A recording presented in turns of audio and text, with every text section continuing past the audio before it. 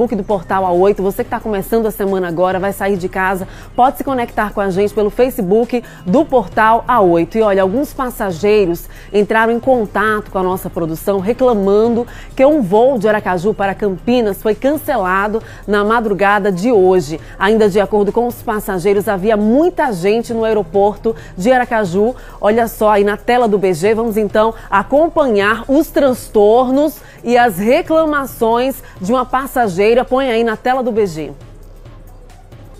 5h28 da manhã, a gente estava com um voo marcado às 2h25 da manhã, Aracaju Campinas, voo 4034.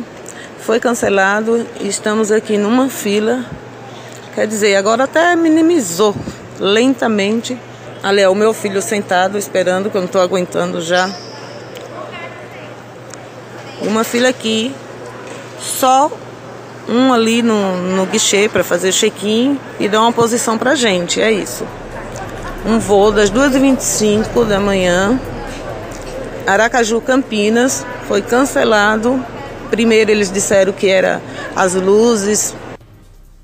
Agora são sim. Situação bem complicada.